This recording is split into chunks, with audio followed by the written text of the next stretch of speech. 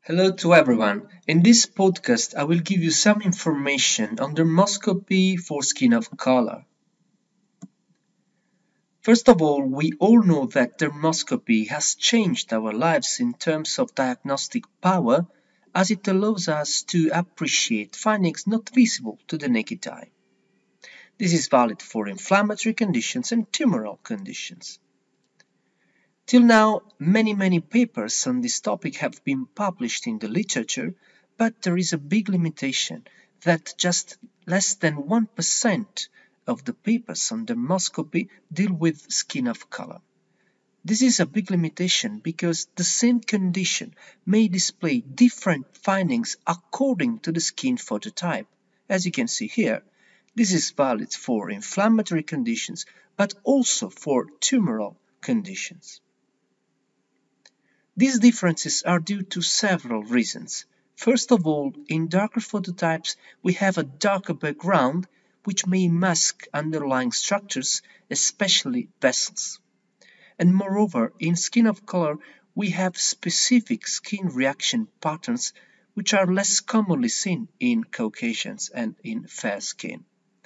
Namely, a higher tendency to pigment lability, which is responsible for the uh, presence of pigmented structures on dermoscopy, and follicular and sclerotic reactions, which are responsible for specific dermoscopic findings.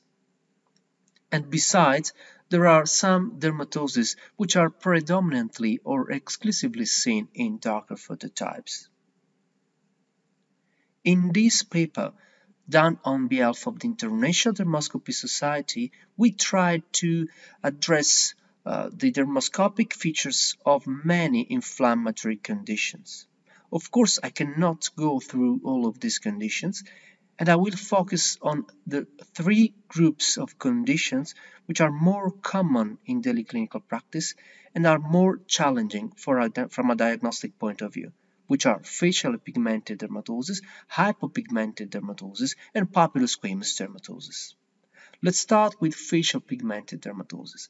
As you can see, from a clinical point of view, it may be very difficult to make a diagnosis and even to make a suspicion. Let's see the dermoscopic clues of these conditions. We can say that from a dermoscopic point of view, we can divide facial pigmented dermatosis into three groups. First of all, there are those conditions characterized by dots, First, we have ashy dermatosis, in which we have uh, gray and blue dots, which are arranged in a perifollicular pattern. In the center, you can see a case of lichen pigmentosus, in which we see brown dots arranged still in a perifollicular pattern.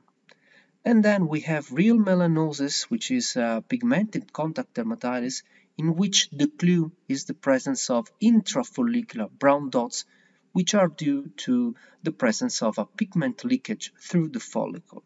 Of course, we may also have uh, brown-gray dots arranged in a perifollicular pattern, but the presence of intrafollicular brown dots is quite specific for Riehl melanosis.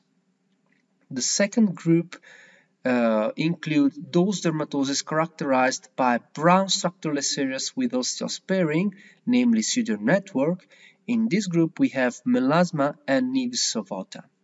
We can see we can say that in melasma we have a more homogeneous areas.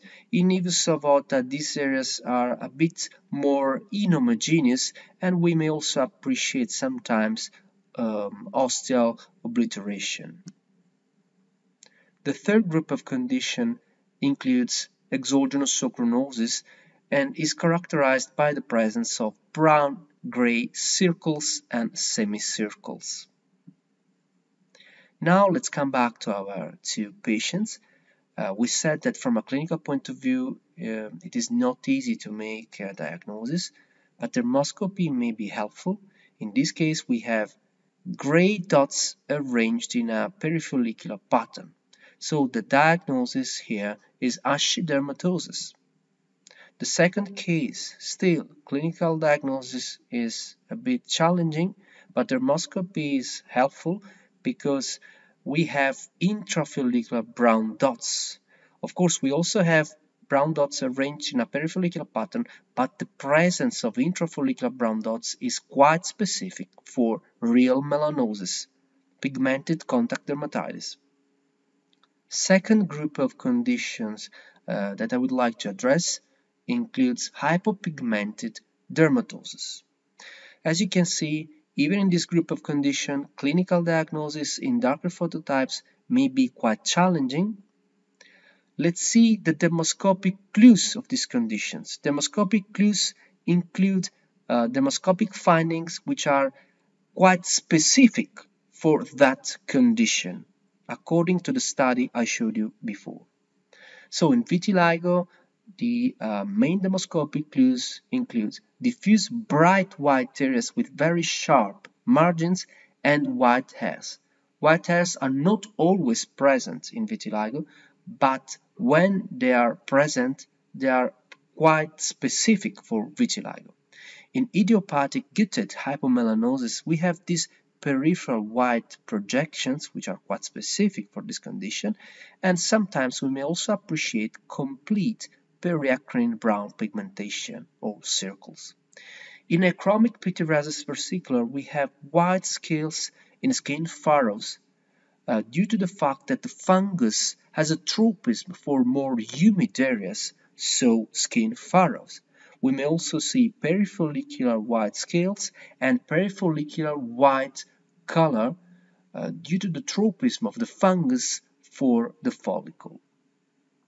In pityriasis alba, we have a diffused white area with blurred margins, and sometimes we, we may also appreciate periacrine, incomplete periacrine brown pigmentation of semicircles, but this finding is quite difficult to appreciate.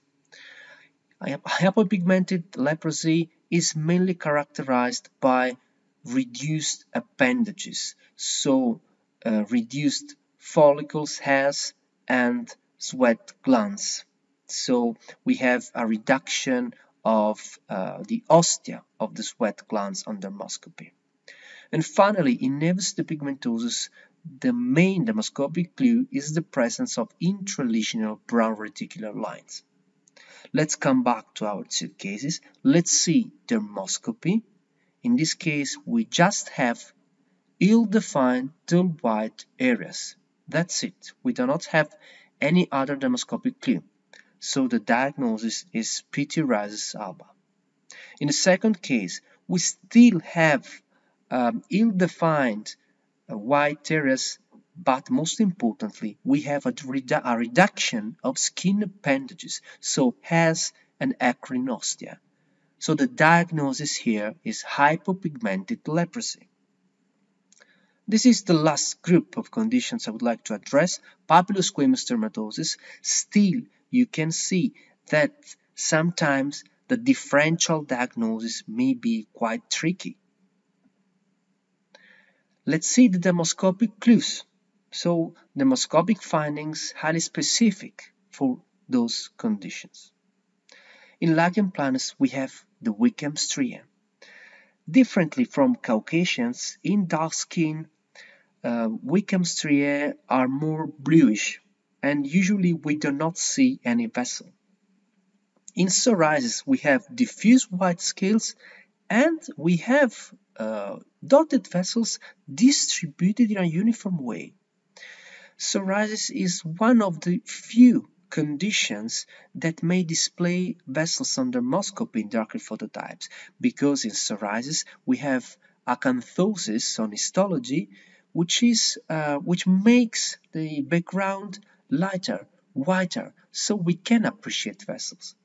In pityriasis rosea, similarly to Caucasians and fair skin, we have a peripheral whiting, whitish scaling with a jagged inner free edge.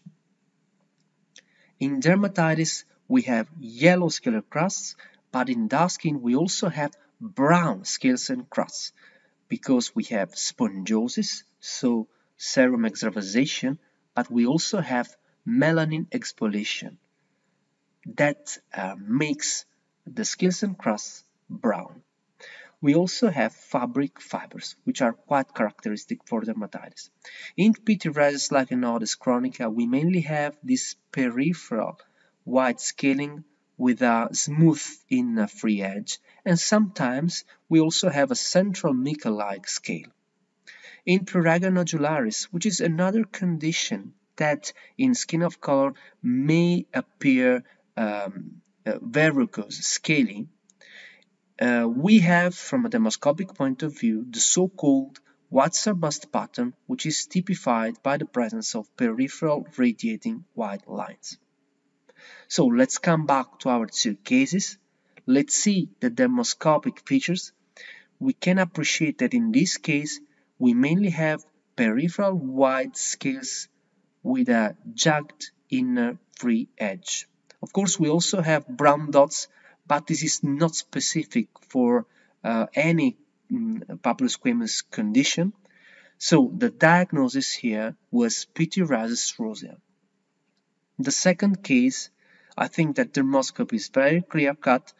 We have white scales, but most importantly, we have uniform dotted vessels.